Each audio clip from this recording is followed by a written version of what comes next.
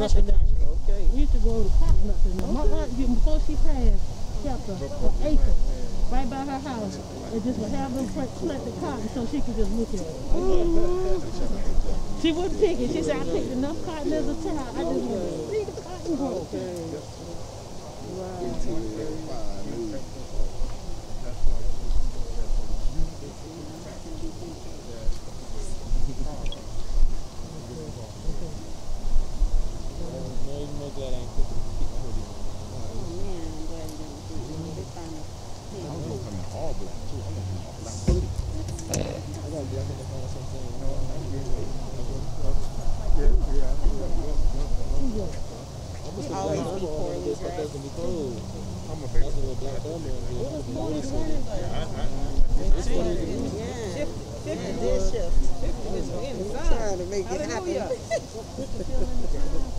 You want to see if you want to make any suggestions. Uh, this is what we were going to do. okay. Everybody, if you need masks or anything, we do have extra. And we have a medic team here uh, just in case. We do have water and Gatorade somewhere around here, right there. Yes. Okay. Those are the announcements. Okay. You're the, you're MC. Yeah, Okay. Yeah. because I was going to let her, but she's not. Huh? You. Yeah, like, But I was going to let her do it because she's from here. Yeah. don't worry about it. Yeah. She said too many people done said some things and she's not comfortable. Tamika is not coming. You know what I'm saying? This year is coming. I don't think Karine knows that. Okay. Who? Karine is her contact. Um, she's on her way, but she'll be here any minute. Oh, she's here. If Pastor was here, no, we have music playing. Yeah, I bet.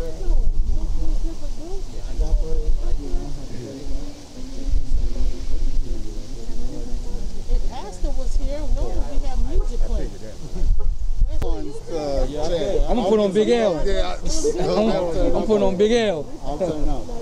That's what I'm listening to right now, Big L. Hey, you know, I don't know what y'all want. That ain't it. Too little.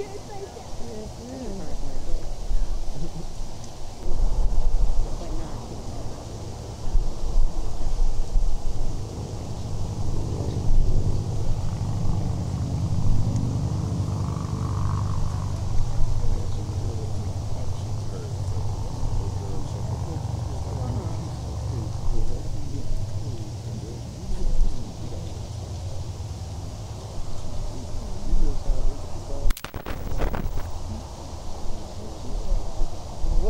And um, before we get started, if there's any other media that showed up, we do have your press kit if you want it. But I just want to say my name is Lawanna Gelzer. I'm currently the president of the National Action Network of Central Florida, and also I'm the president of the Coalition of 100 Black Women. But today I'm here as a concerned citizen and as a um, parent who has raised an adult son, but I'm very concerned of what we're seeing in our community. So at this time, we want to always remember everybody stay hydrated. If you can um, live stream this, please do so. If you need masks, remember social distancing is the most utmost importance to us. We want everybody to be safe. But if we're out here during a pandemic, then we must you must understand how important this is to us. But I will be remiss if I do not start off without prayer. So 100 Black Women and the founding pastor of Oasis Fellowship Ministry. Today we are very um, humbled and we're somber about why we're here again in a situation such as this. And the first thing that we want to do is to call on the Creator, the Helper, the one that helps give understanding, the one that shows us and gives us directions if we could open our eyes and our hearts to hear. Most High God, you are the only living sovereign majesty. We come to you in a place in a time where all we know to do first of all is to bow our knee and ask for your direction, ask for your guidance, ask for your your intuition, ask for your instructions. We come right now understanding that the whole duty of man is to do justice, to love mercy, and to walk humbly with our Creator. It is with this in mind and this in our heart that we call on the one who has put all things together to help us to stand to the occasion and to call for justice. We believe that justice is appropriate, justice is right, justice is necessary, justice is imminent, God. And we come now as conduits saying, How do we walk together in this situation to cause justice to rise up and to flow like a mighty river? God, we come and we lift up Taylor, Bracey, we lift up this entire family, and now we lift up this community that will stand, God, to do justice, that will stand to call for justice. We call for systems that will be systems of justice and equity. We call, God, for leaders that will have, God, the heartbeat of the people in the forefront of their very mind. Lord, we believe that if we can come together and reason, we can come to the table of understanding, we can come to the table of justice, if we can come to the table of peace, then we're able to make situations right that are wrong. We believe that there's ability, our ability to come together and to righten every wrong that has been imposed to this child, to yet again this community, God, that has uh, has shined a light where there is a need for reform, God, for police reform. God, we believe right now that we this is the time we are the people that's able to do exceeding with your help abundantly above even what we can ask or think because you will lead us into all truths. We believe right now that we're able to come across gender, race, socioeconomic status, citizenship, government, policies and polities to right and wrong. So thank you now for bringing us here as concerned citizens, most of all, that we might be able to raise up a banner of justice. And we are not ashamed to say, no justice, no, no peace. peace. No justice, no peace. No justice, no peace. In Yeshua's name, the name that's above all name, we say thank you for it now. Amen. Amen. What TJ at? You gonna have to follow. At this time, I would like to bring forward TJ, a community activist, to say some words.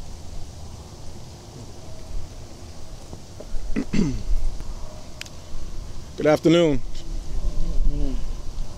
Dylann Roof, white mass shooters, the insurrection at the U.S. Capitol, all were treated better and with more dignity than Taylor Bracey. See, 2021 has been a year of revelation. What we saw at the U.S. Capitol was a master class on white privilege. But our young black children get an education daily, both in the classroom and outside of the classroom, that we live in two Americas. Two Americas where you were born, where your pigment, the pigmentation of your skin is viewed as a weapon. So much so that an unarmed 16 year old girl was hooked by a white police officer and then swung to the ground and drove with all his force, knocking her unconscious. He didn't render any aid. The first thing he did was to put handcuffs on her as if she was cattle. So we have to ask ourselves for a people that has been dealing with the pandemic of racism for over 400 plus years. Yes. When is enough enough? When we send our children during a pandemic to school to get an education, we didn't expect that their safety would be put in jeopardy by the same people that have sworn to serve and protect. And the reason that they can do this, because in this country, law enforcement officers are able to harass and brutalize black people with impunity. So, yes, Taylor Bracey suffered at the hands of law enforcement. But it's not law enforcement and law enforcement officers' responsibility solely alone for what the the actions that he did. It's those of legislatures. It's those of people in Congress. It's those directly at the White House. What are you going to do to protect black people, more specifically black children from being murdered, for being brutalized with impunity in this country? Hmm. What we need right now is not poems. What we need right now is not singing along and singing hymns. What we need is for equal protection under the law. And what we need is to make sure that in this country, when you see an unarmed black woman or an unarmed black man or a black child being brutalized, it should resonate with each and every one of us, regardless of your race, regardless of your gender. This is a problem. And the solution starts with the people, but we need to start putting more pressure on these legislators who say they are here to represent us, but yet still we don't have the protections. Law enforcement are not above the law. What this officer did was irres- irres- uh, was horrible. It was horrible. But how do we tell and look a young black child in the face and tell them that there's justice in this country? When all they see on social media is their people being brutalized. So I'm calling on any all legislators on the county, state, local, and federal level. It is your job in a public safety duty to make sure that we are protecting our children because if we don't protect our children, we have failed as a society. We deserve equal protection under the law by any means necessary. Thank you. Thank you, TJ. Thank you very much, TJ.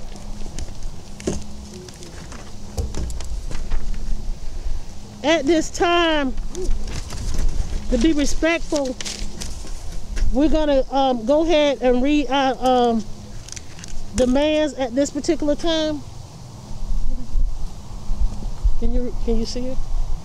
And then we can anybody else that want to come and read another one. can. So I can read the first three. Maybe someone else. And read. somebody else. Don't you know Spanish? Oh yeah. Luana, get get somebody to read it with him because he knows Spanish and Telemundo out there. So Um, Do you need us I'll to just- do it in Spanish too? yeah, for Telemundo. Okay. So you- Well, he'll read this one. You want somebody to I read? can. I, You can read one and then he'll do it in Spanish. Yeah. Okay. okay. Okay, there you go. Um, that we got everything done. Hey everyone, David Caicedo, he, him pronouns, co-director of the Florida Student Power Network. My name is Amina Pruitt. I'm with Our Revolution, Florida. Um, our demands following the assault at Liberty. Number one, repeal. Oh, do you want to? You can, oh yeah. Repeal Florida state law requiring that at least one police officer be present in every school. Hay que sacar la ley que manda que haya, aunque sea un policía en cada escuela. Number two, fire the Osceola Sheriff's deputy involved in this assault and guarantee that he will not work as a school resource officer elsewhere in the future. Sacar al oficial que asaltó a la persona en la escuela para que nunca más trabaje en, un- en una, en una escuela o con algún, yeah. Number three, any investigation into this incident should be led by a community task force, not law enforcement or the Florida Department of Law Enforcement. Cualquier investigación que suceda tiene que ser con, el- con la comunidad y no tiene que ser hecha por los policías mismos. Number four, ensure that no suspensions are made and no charges are filed against any of the students involved in this incident, including those who recorded and shared video on social media. Asegurarnos que ningún estudiante que esté involucrado en este incidente sea juzgado o que, que reciban algún tratamiento mal o que se pongan en problema por, esta, por esto. Los estudiantes involucrados y también los que recorde con la cámara. Number five, ensure that impacted students have continued access to education, including but not limited to a, a right to return to Liberty High School if desired, and that none of the involved students are involuntarily transferred but welcome back to the school. que los estudiantes que del incidente puedan seguir con su educación y que eso sea en Liberty High School si ellos deciden que eso es lo que quieran. And number six, provide emotional, social, and mental health support and resources to the students involved, including those who witnessed this assault and their families. So, proveer, proveer um, apoyos y recursos emocional, sociales y de la salud mental para los estudiantes que estuvieron en este incidente y los que también vieron el incidente. And number seven, implement school-wide res- re- school-wide restorative justice at Liberty High School to create a nurturing uh, school climate. Um, hay que implementar en Liberty High School un programa de justicia restaurativa para los estudiantes para tener un ambiente en la escuela más para los estudiantes mejor. And number eight, require the protection and safety of all black and all oppressed youth who organize to protest against state violence and to protect themselves from all forms of violence. Y número 8, requerir la protección y la seguridad de los estudiantes negros y todos los estudiantes con identidades marginalizadas para asegurarse que ellos estén seguros en este tiempo.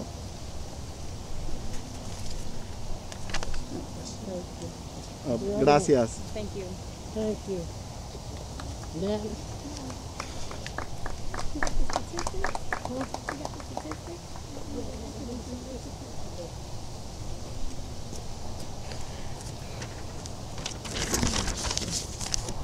This is Ashton God. You want to read the statistics?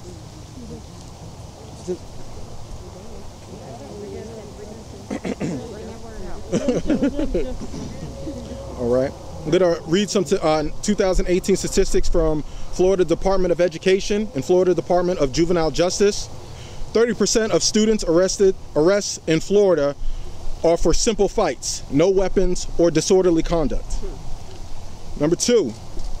Black youths are 4 times as likely to be arrested in schools as their peers and 7 times as likely to be arrested for disorderly conduct. Number 3. 70% of girls arrested for disorderly conduct are black. Number four, black students are two times as likely to be suspended or expelled from schools than their peers. A single, uh, a single arrest increases the risk of being arrested again and reduces the likelihood of graduating from high school. In Florida, over 250,000 students attend schools with police officers and armed guards, but no school counselors. In 2018, Florida allocated 180 million to fund school police and security, but only 75 million for school counselors and, and mental health resources. That's a problem. Is there another page? or That's all. That's it. So I um once again, I hope that's them driving off. Out of town tags. I don't That know. might be him. Wrong time. That might be him. Is that them now? Hey. I just want to say once again, we are waiting for Mr. Crump. Hopefully, he is. So, he just pulled up. He could have just pulled right here. He do not have to park because we are here with him for him and the family. But I wanted to say um, because we know that you have deadlines. That um, we want to go ahead and make some of the announcements so when he comes, he can just take questions. But we just want everybody to know that there will be a roundtable um, policy to impact and solutions to, tomorrow, Sunday um, at 4 p.m. It's online. Then there's an Osceola County School Board meeting um, Tuesday, February 2nd and we're asking everybody to show up at 4.30. It starts at 5.30. If you would like to speak, you can speak, but we need you to be there at 4.30 and um, look for, raise your hand. Okay. and so I always say this. This was a call to action. We're going to ask people not to just go home, but to get involved. Those statistics should have been alarming, but we could state some more for Orange County with the lack of civil citations, the disproportionate things that are happening, but the stats are out there. But what we're saying is, when will there be change? Our community and our children have suffered long enough, period. And we're tired. We're truly tired that what we saw January 6th, with people violating curfew and everything else was allowed to leave. We saw white privilege Yes. at an ultimate high. Yes. And no one stole an election. But when we come to talk about what's going on in our school system, you're not talking about that. Now, young people and what they have to deal with. The school to prison pipeline is real. Yes, it is. It's real. And when they are building prisons, they build it off the population of African American youth, grade three. And quarters, and so private prison is it's money. It's all about that. So I just want you all to understand this is an ongoing fight. This doesn't stop today, it starts today. No more. No more. No more? No more. No more? No more. No more. No more. The next you'll hear is from Ben Crump, the attorney for the family, and Ashley Jackson. They're coming up right now.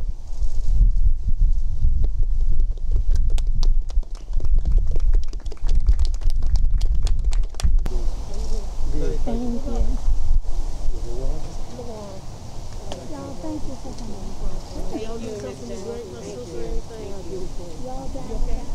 are. No, That's I'm saying a lot. Thank you. Y'all That you even have time. Thank you, brother. Y'all ready? Okay.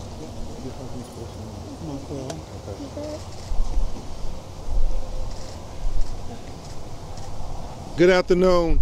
I'm attorney Ben Crump, and I, along with attorney Natalie Jackson, have the honor of representing the family of 16-year-old Taylor Bracey, who the world now has seen was brutalized by the school resource officer that was supposed to protect her while she was in the custody and care of the Liberty High School here in Osceola County. You're absolutely right. It ain't right on any level. We have present with us her mother and father, Miss Jamisha Bracey and Mr. Marquel Bracey. Good parents who never ever thought something like this would happen to their child, what they saw on that video. What parent would think something like this would happen to their child while at school? Each day, parents all over America give their children to our schools and say, help us to educate our children. Help us to nurture our children. Help us to protect our children.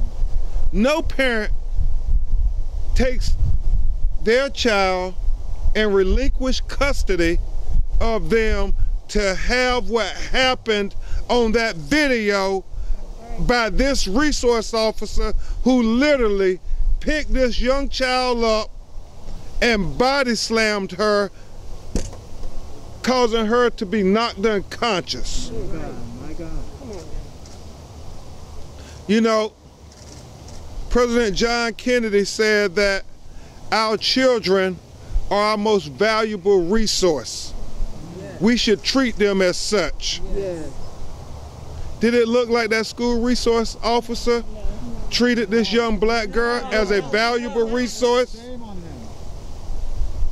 Nelson Mandela, president of South Africa, said that history will judge us on how we treat our children. Yeah.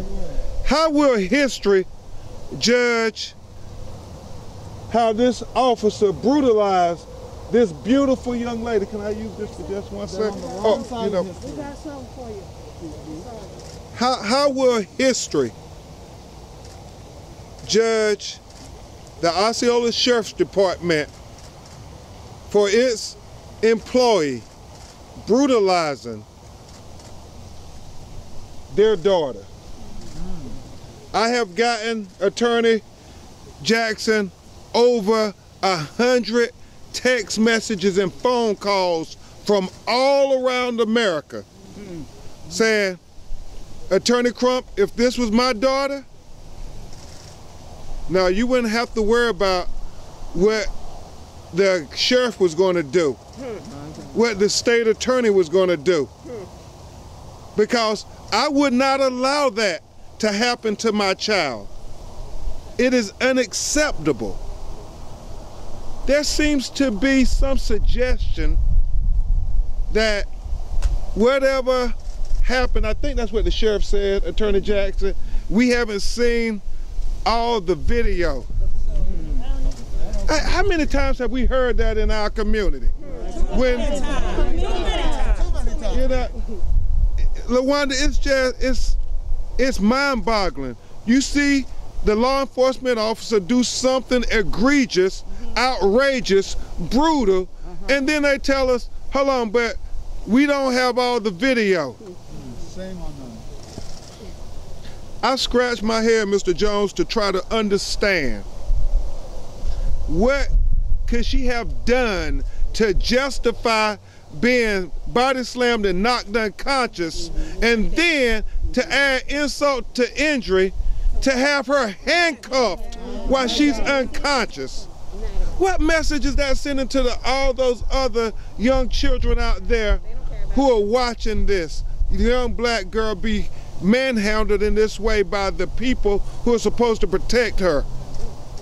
And I, I, I have to say it because, you know, we cannot come and try to defend the honor of this young girl without speaking truth to power. And the fact that, you know, you had young white men shoot people in schools and not be treated as brutally as they treated this 16 year old, 125 pound black girl. You know, Malcolm X said that the most disrespected person in America is the black woman. He said the most neglected person in America is the black woman. He said the most unprotected person in America is the black woman. And that was over 50 years ago. Do we have to create a new quote about black girls? Because if this were in blatant disrespect, if this was the opposite of how we protect our young black women, I don't know what is. You know, Mr. Bracey, I understand on top of this, to add insult, complete insult to injury, they call your home a detective and said, we want to interview your daughter for the criminal charges that she is facing. Let that sink in. Criminal charges she's facing? No, no, maybe they have it mistaken. They should be investigating him for the criminal charges he should be facing. That's right. I mean, why can this be accepted where he can manhandle our child uh-huh. and then they say our child is going to be investigated for a crime against him? Like, she assaulted and battered him. Now, did you see the video we saw? He assaulted and battered her. So, I, you know, it is hard to try to look at these parents and say, trust this school system that we have here in our state of Florida to go back and know that your daughter will be safe when the person who was supposed to protect your daughter was the person who harmed your daughter. I mean, it's mind-boggling. And, and you just know that there's a pattern in practice, apparently, in America that suggests that you can do this to black children. They don't do this to little white children. I mean, we haven't seen any video of a little blonde hair, blue-eyed girl being body slammed by the police. Or I got videos from South Carolina where an officer choked the little girl and slammed her. Oh, they snatch her by her hair down here. And, and yeah, in Louisiana, snatch her by her hair. That's not happening to little white girls, but it's happening to little black girls. And it is unacceptable. It is unacceptable. Is it unacceptable? Taylor Bracey, life matters. Yes. Yes, sir. Our children, life matters. Yes. And black lives matter. Yes. If we don't curtail this right now, it could be far more tragic next time. Because think about it. Who can say when they watched that video and you heard her head hit that concrete floor and that thump? Who can say that they didn't wonder whether that little girl was killed. I mean, her body was limp. She was unconscious, lifeless. And the officer still didn't offer any, and, and this is, this is very hard, especially on her parents. But we're just trying to make the case why when the sheriff says this isn't a big deal or any suggestion of that, now it is a big deal. This was real. Taylor has real injuries. Taylor is going to be affected by this in the future. Her mother is going to explain to you all about her having blurry vision, about her having memory problems, about her having headaches, about her sleep being disturbed, and about her being depressed. It's real, Sheriff. It's real. I just want you to ponder if this was your daughter, Sheriff, how would you feel? What would your demand be? Would you ever let this resource officer work in a school again around children? Because if it's not acceptable for your children, why do you think it's acceptable for our children? It's not. It is that simple. It is that simple. Now, my great uh, co-counsel, who's one of the most able attorneys I've ever worked with, uh, we fought for Trayvon Martin together, and she was the uh, a force of nature in making sure that people knew Trayvon Martin life mattered. Is going to talk to you about how this is a pattern. This is a pattern where our young black children are being targeted. in some of the most egregious ways ever that is life altering on them. We don't send our children to school to be attacked physically or legally. But that is what's happening to our children. And after you hear from Attorney Jackson, we're going to introduce you all to the parents, uh, the mother and father of 16 year old Taylor Bracey, because we must stand up for Taylor. We must stand up for Taylor. We must stand up for Taylor. We must stand up for Taylor. We must stand up for Taylor. We must stand up for Taylor. We must stand up for our black girls. We must stand up for our black girls. We must stand up for our black girls. We must stand up for our black girls. Thank you. I give you Attorney Natalie Jackson to make the case. I will be very quick. You've heard these statistics, but I think it bears us to hear them again. These are statistics in the state of Florida, promulgated by the state of Florida, by the Florida Department of Education and the Florida Department of Juvenile Justice. The first statistic is 38% of students arrested in Florida are arrested for simple fights. This is something that we most most kids who are going through adolescence, they will get into a fight. That's something that is foreseeable at a school. Black youths, I'm sorry, 38% of black youths are four times as likely to be arrested in school as their peers, and seven times as likely to uh, be arrested for disorderly conduct.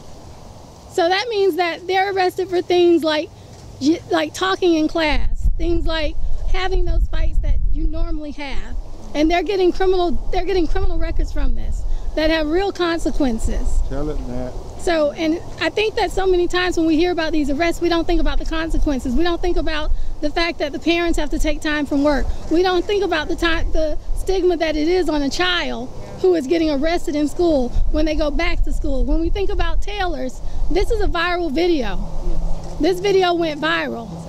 Kids put it on the internet, it went viral. Taylor has to go back to school. She has to go back to school and face the repercussions of being a viral internet sensation for being abused by the police. Tell it, Nat. I talked to Taylor on Tuesday with her parents and I asked her, Do you want to go back to school? She said, I'm embarrassed. She said, I don't know what people are going to say. So, this is the, on top of all the physical injuries that she has, there's real life consequences and emotional damages. There's an emotional damage to these parents who had to watch this. I spoke to Ms. Bracey. I said, Ms. Bracey, when did you see the video? She said, I saw the video when I got home. No, the, the next day. The next day. Nobody told her. Nobody told her about the video. Mm. Taylor didn't remember because she was knocked unconscious. She doesn't remember what happened. So the school never told her that hmm. there was, and they may not have known. So you know, because it was kids that put it up on the internet. Yes, but that, resource officer knew. Okay. but that is something that I think is so egregious that you have to view your child in a viral video being slammed to where their head hit the concrete and they're knocked unconscious. So let me go on. 70% of girls arrested in schools for disorderly conduct are black. My Lord. Now, when you put that in the percentage of black girls in a school and the population and general population, that's an astounding percentage. 70%. Black students are twice as likely to be suspended or expelled from school than their peers. I have to stop here and I have to give, so I have to talk about the principal of this school and thank her because she did call and said that Taylor will not be suspended. And she said, We're putting together a plan for Taylor, a safety plan for Taylor. So, you know, when we're when we're demanding that people be held accountable, we also have to put out there the people who are doing the right things. Exactly. So that's what those are the statistics, and that's where we're facing. And I want to turn this over to the parents now so that you can hear from them. Taylor will not be here. She has a neurologist appointment next week. She is, doesn't want to be in the media. She never asked for this. That's right. That's right. Thank you, Attorney Jackson. As we bring the parents of Taylor Bracey up, uh, her mother will speak to you first and then her father. Um, you know, when you think about Taylor suffering this concussion, being knocked to the ground, in American society, especially with the Super Bowl coming up next week, everybody talks about the NFL concussion protocol. When a player is hit hard about the head, then you have to put them through the NFL protocol for a series of days, if not weeks. Sometimes it's career ending. Mm-hmm. Mr. and Mrs. Bracey never thought on Tuesday of last week, of this week, that they would be putting their 16 year old daughter through an NFL concussion protocol because a grown man slammed her on her head and knocked her unconscious. So there's a reason that we're at the sheriff's department here in Osceola County because we are talking and making a direct appeal to Sheriff Lopez and the powers that be in Osceola County. Would you want to put your child through an NFL concussion protocol because a grown person manhandled and brutalized and knocked her unconscious? We're talking about a little girl. Again, I just keep looking at this picture, not just as a civil rights attorney, but as a father of a young black girl. You're like, my God, did this man have any empathy for his daughter? Well, why not have empathy for our daughters? Because this is what, I mean, you're going to hear from Mr. Bracey. You, I've been hearing from a lot of the mothers, but boy, I've been hearing from the fathers too. And these black men are outraged because it is a father's responsibility to protect their children, especially their little girls, at all costs. You can you imagine how vulnerable a father feels watching that video? This young lady, we will protect. Yes. We will protect her. And so, Sheriff Lopez, I hope you all take the vow to protect black girls, little girls of color, and not try to marginalize or disenfranchise them and not try to co-op to engage in what Attorney Jackson and I know as the intellectual justification of discrimination. Because I just want you to think for one second. I mean, just for one second. If this was a little blind haired girl and he slammed her and that was on the video, how long would it have taken for him to be arrested?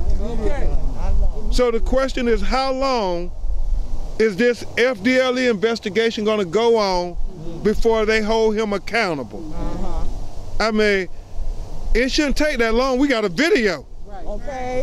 What we investigating? When somebody, when somebody in our community is caught doing something inappropriate on video, Attorney Jackson, how long does it take them?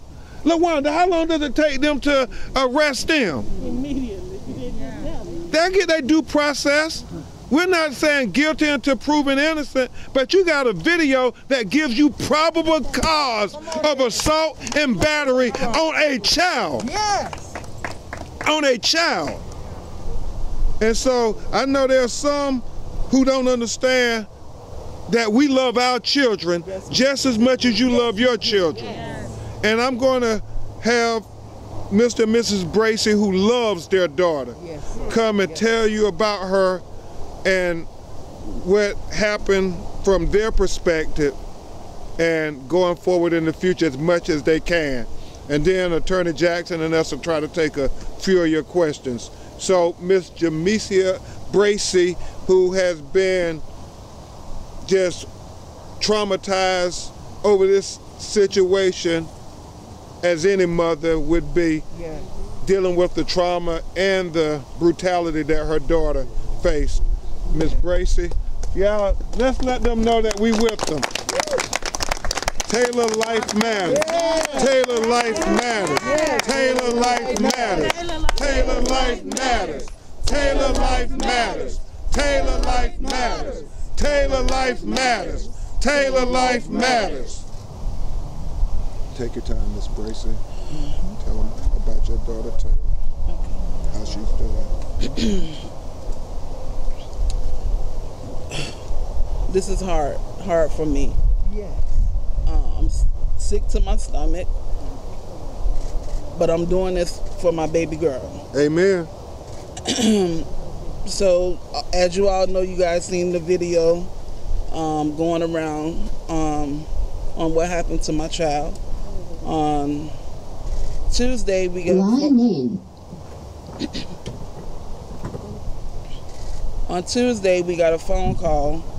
Well, I did, I did from my daughter, you know, telling me, um, you know, that some girls wanted to jump her out the school. So, you know, I told her, you know, just to inform the dean of what's going on. Um, she informed the dean because the dean did call me to tell me that he'll have my daughter um, waiting for me in student services. So I told him, okay, let him know that, you know, we was an hour out from the school, but, you know, I'll be there. I'm on my way. Um, shortly after that, we got another call um, from the assistant principal to ask, was it okay that an EMT checked my daughter out?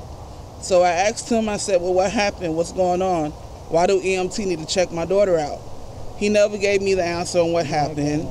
He proceeded to give the phone to the lieutenant EMT for him to get on the line to tell me that her vitals were okay and that he didn't see any physical injuries that she need to go to the hospital. Mm. But still, I asked him too, what happened? No answer, no response. Just gave the phone back to the assistant principal. The assistant principal told me and my husband that he'll tell us when we got there. Well, when we got there, I didn't see Taylor immediately because he took us in his office. And he took us in the office and brought the dean in, and the dean trying to, you know, explain on what happened, but still never telling us that our child was actually knocked unconscious. And she woke up inside the office of the principal.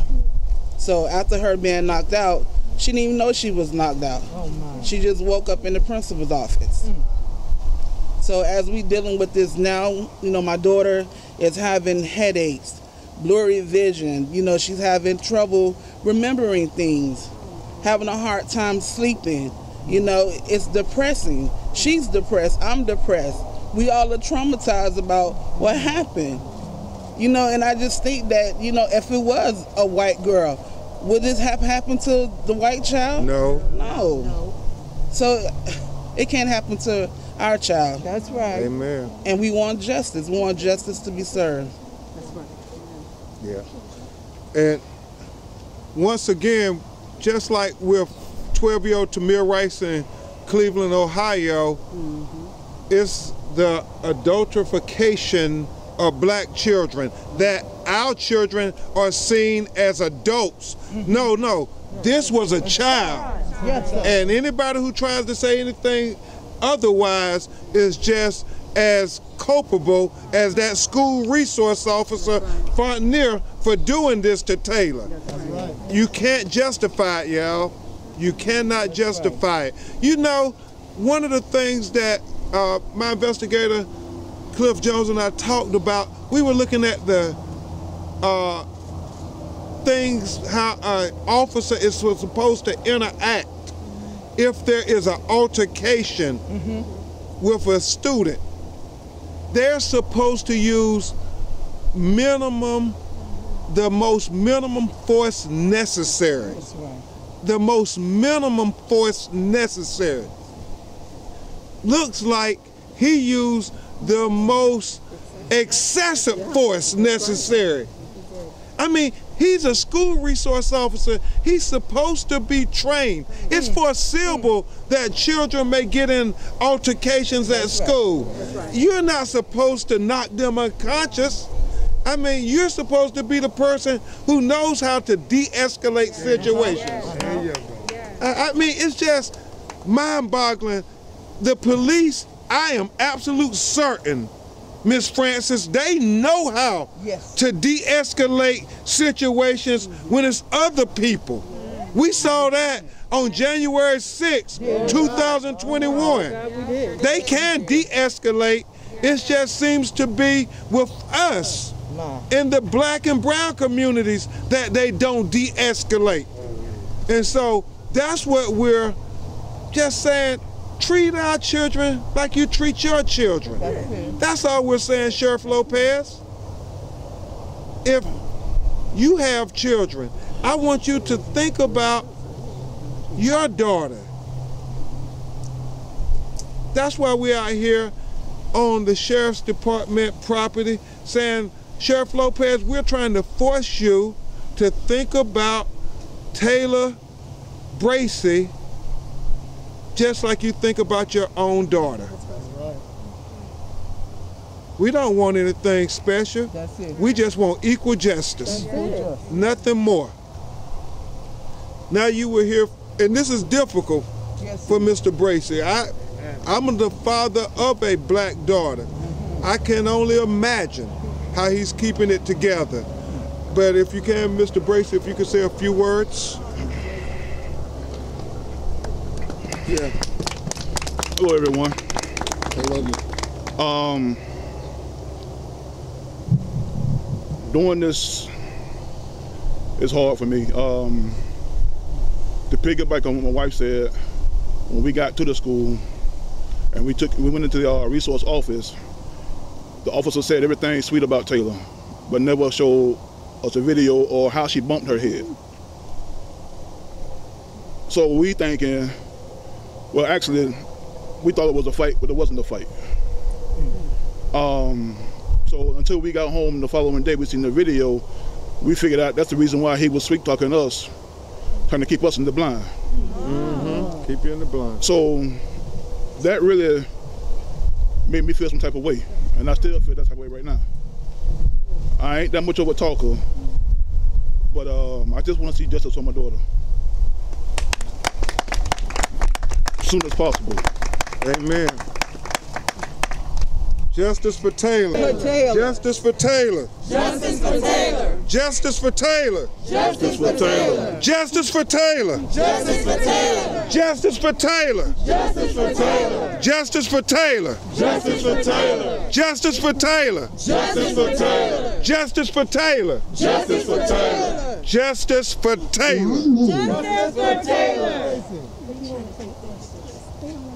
Yeah, and and before we take questions, I want to say on behalf of Taylor Bracey and her family and our entire legal team, we are so very grateful for all of the activists, for the National Action Network chapter president Lawanna, uh, for everybody who didn't think it was robbery to come out here on a Saturday and stand up for this little black girl because our black girls matter. Yeah, they matter.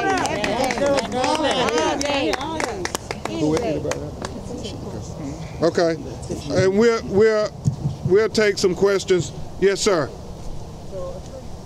travel all over the country and dealing with these things. Are black people, in, is every black person in danger in this country from police? I mean, because we keep seeing, we keep seeing you pop up. We saw you with Breonna. We, I, should we feel, should we be, should we be afraid of police? Well, I, I think as we have articulated that there are two justice systems in America, one that seems to govern white America and one that seems to govern black America, especially when it relates to policing in America. And after the tragic torture of George Floyd in Minneapolis, Minnesota on May 25th, 2020, we were hoping that that was a tipping point, that we would see they would be more professional, that they would be more humane, uh-huh. Uh-huh. that they would be more sensitive when confronting people of color in America. But what we continue to see is that they confront black people and brown people differently than they confront our white brothers and sisters. This implicit bias, this subconscious thought is something that we have to deal with in America. And if we don't, we'll see more George Floyds, we'll see more Breonna Taylors, we'll see more Taylor Bracey's, that law enforcement treats us with the most disrespect and inhumanity than they treat anybody else. And you don't have to take Ben Crump's word for it or Natalie Jackson's word for it. Did you hear those statistics? Black girls are arrested 70 times more than anybody else in the school system. When it you think about little white girls, Martin Luther King said it best that there's some bad in the best of us and some good in the worst of us. We're all just people. And you can't convince me that little black girls are that more nefarious than little white girls. You cannot convince me. And just like you can't convince me Taylor Bracey did anything to justify this brutality by Deputy Frontier. You cannot convince me of that. And we are waiting to for the sheriff or anybody to explain why this is acceptable for this little black girl, but you don't treat little white girls like that. I'm sorry, you just have to speak truth to power. Yes, ma'am.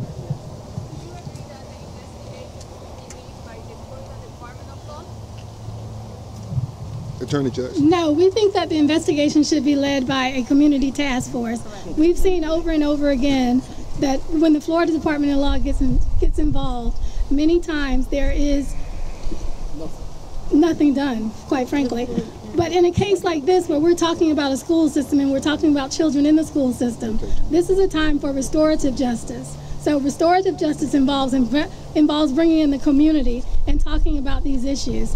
Um, restorative justice involves having a plan for the kids to be able to talk about what they saw on that video and what they feel. That's what restorative justice. So I'm not sure if this, once again, this is one of the issues when you have police officers doing multiple jobs. I'm not sure that this is the job of a police officer to talk to the kids and decide what happened in this case. I think it's the job of the community. I think it's the job of the parents. I think it's the job of the students. I think it's the job of the teachers and the principals. Well said, Attorney Jackson. Yes, sir. Yes, sir.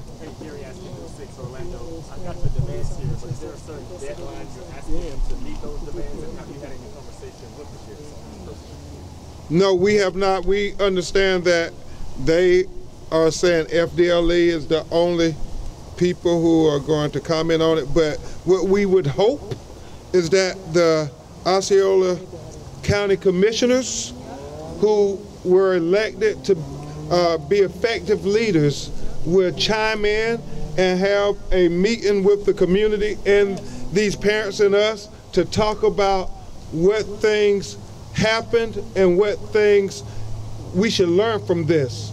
Because if we don't have a real dialogue about this, then it would just fester because we won't let them sweep it under the rug. Right. The crowds will get bigger and people, I was on the phone as I told Attorney Jackson, literally uh, communicating with Jamie Foxx and Ava DuVernay and Jay-Z, people who saw this happen mm. to this young black girl and say, Crump, what are we gonna do about this? So hopefully the leadership of Osceola County will tell America what we're going to do about My this. God. Because if they don't, then Come we on. will do something about this. Right. Yes, ma'am, and then you, sir. Has the school told you all if they're gonna ask the sheriff's office not to allow the deputy to return? No, we haven't heard anything. They haven't. No, we haven't heard anything about the sheriff's deputy. However, the school has been in contact with Mr. and Mrs. Bracey to set up a plan. And like I said before, they um, indicated that they were not going to suspend Taylor from school. So we were very proud. We were very happy about that. Tell them about the criminal charges. So the criminal charges, um, the day that the day that um, all of this happened, and Mr. and Mrs. Bracey went to the office to get their children, the officer told them that they were going to charge Taylor with battery on a law enforcement officer, resisting without a, with violence. So, um, and then about three days ago, we got a phone call. Ms. Bracey called me because an officer called her house um, doing an investigation and wanting to interview Taylor for his criminal investigation against her. so, of course, she called me. I called him and I said that Taylor will not be speaking to them. I said she has a right to remain silent if you're going to bring criminal charges against her. Um, and that's one of the problems with having a school resource officer in a school. That didn't happen here, but many times what we see is when kids are arrested, they don't have any rights because they have to write a statement to the school principal when they're arrested in school. Maybe that's why we have 70% of black girls being arrested. Yeah. And so they write a statement because the principal requires them to write a statement, but that statement is later used against them in courts of law. So these are things, these are issues, these are very real issues when you have police officers in the school. Now, there might be a time where you need to call a police officer to come to the school. There might be a time where you may need um, security at a school. However, police officers, their job is to take your life and liberty. And do we want to start that at young ages, K through 12? Where their job is to protect and serve, but oftentimes with our community, it becomes uh, taking of our life or our liberty. Uh, and, and, you know, I, I, I just think about the fact that how they try to spin things. They did something abusive and inhumane and I believe illegal, but then they tried to accuse the child of doing something illegal. This is America.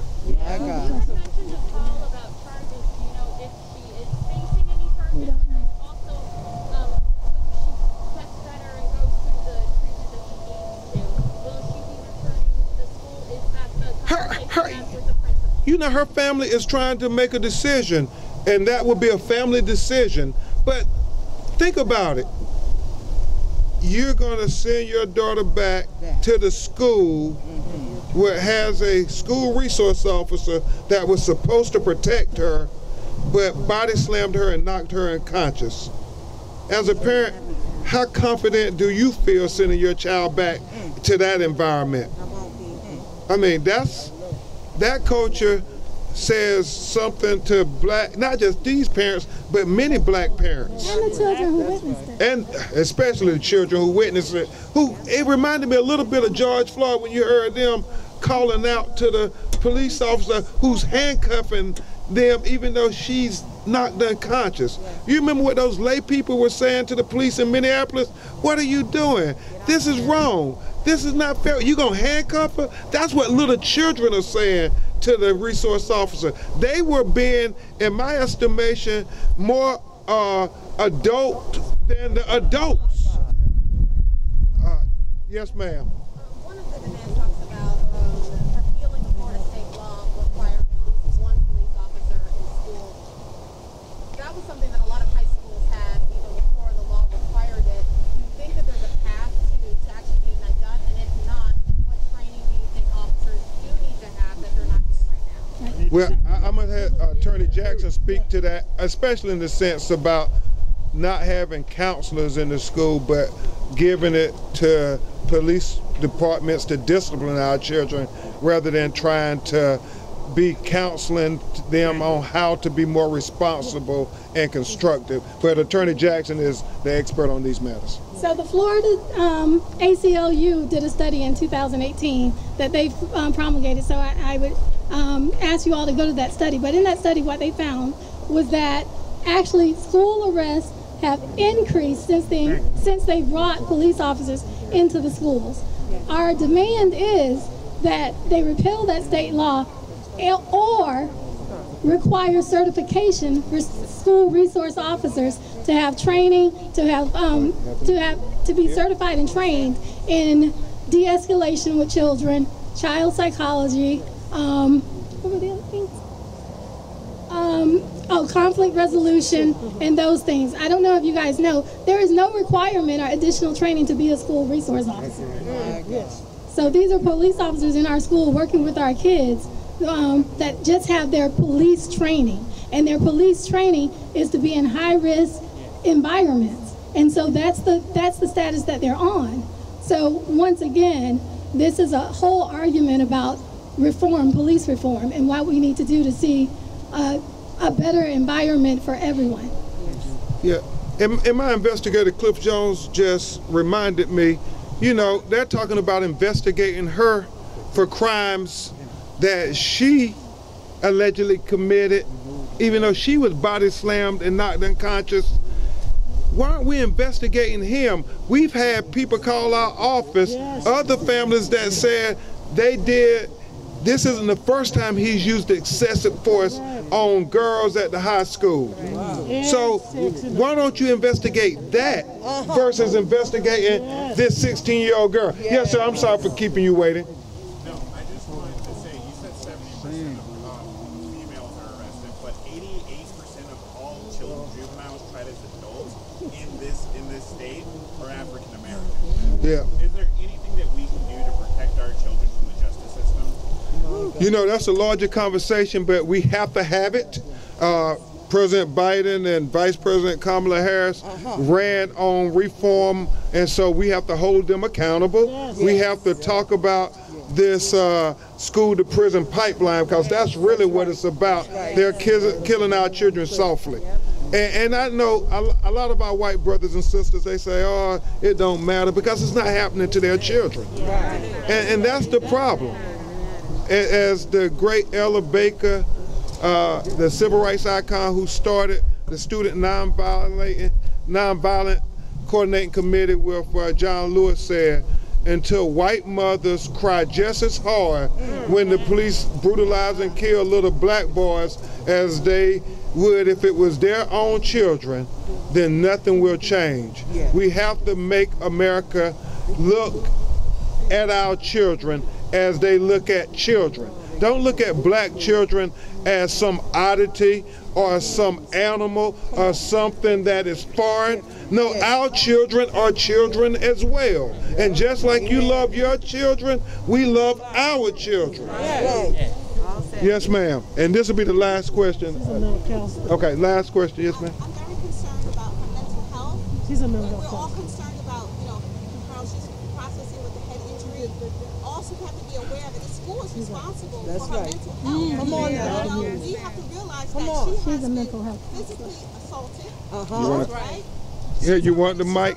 Come on, doctor. Come on, doctor. This is doctor. This is our mental health. Speak truth to power, if you would. Hi, my name is Dr. Agard, and I just want to say that we have to look at what's going on with her mental health. Yes. We have to look at the mental health of this young lady because not only was she slammed down to the ground, uh-huh. she's also experiencing depression. Yes. She also must have some experiences of anxiety right now. Yes. She's having sleep deprivation. Come on. Okay, uh-huh. she's having headaches, she's having loss of memory. This is going to be a serious situation here.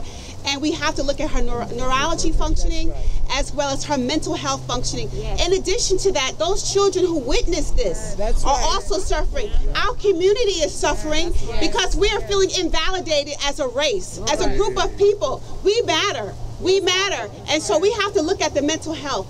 This community, all communities, we're hurting. We feel invalidated. We have been sick and we need support here. And so I, am asking for the school district, which I'm not saying they're not offering, I do not know, but the school system must Say provide mental health services for this family, Yes, that's this right. And mother, children. this this this father, all the students that witnessed this. We have to validate what has happened, and That's we right. need some answers, and we need changes. And I will stand and advocate for those changes. Thank you so much. And, and what's your name, Doctor? My name is Dr. Eugenia Agard. Okay, because I know the press wanted to know who you were. And I have no doubt that she has cognitive functions that have been affected. Yes. How could she not hitting the ground with such velocity? I mean, to knock her unconscious. And so we know, uh, you know, a lot of the doctors, Dr. Agard, called and said, it looks like she suffered some kind of injury that is going to be significant that impacts her life. And so we're going to have her check to see if she suffered a mild traumatic brain injury, if she uh, suffered memory loss and all these things that are associated with concussions.